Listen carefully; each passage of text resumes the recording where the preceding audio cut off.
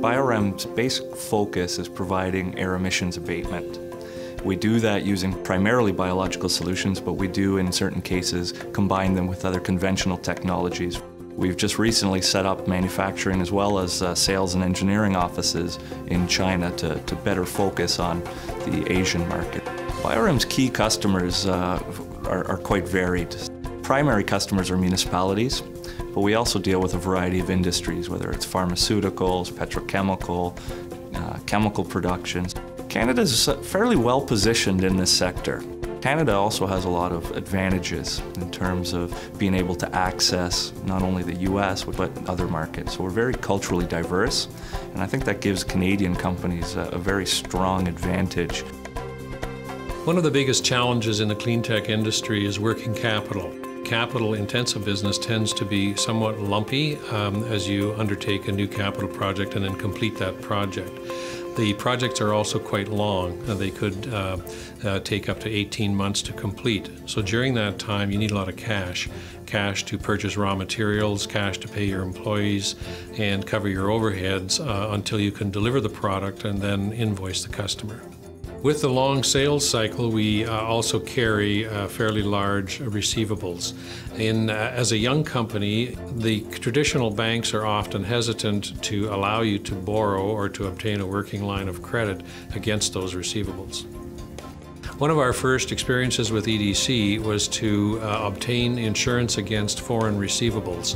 In this case, we were able to line up uh, an insurance on our U.S. receivables, and working with our bank, they provided us up to 90% working line of credit against our receivables.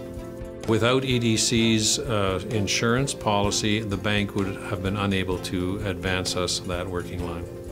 The relationship with EDC has matured quite nicely. Over time, as we took on larger jobs, we found we needed uh, more capital for providing performance bonds.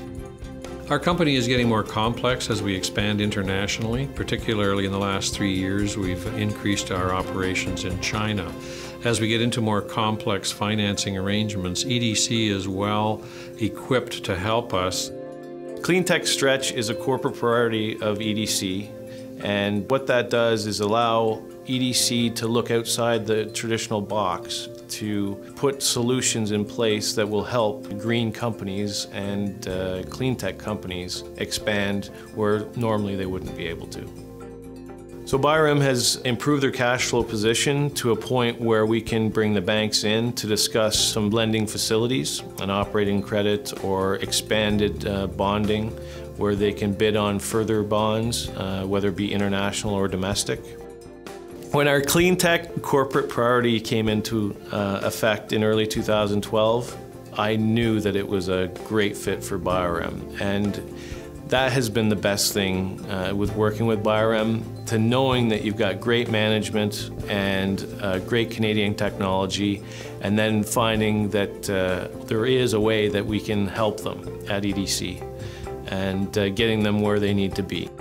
I would certainly recommend EDC to other environmental companies in Ontario and across Canada. Uh, EDC understands the nature of our business, uh, the complexity of the business, and it appears to me that they've dealt with our circumstances many times before.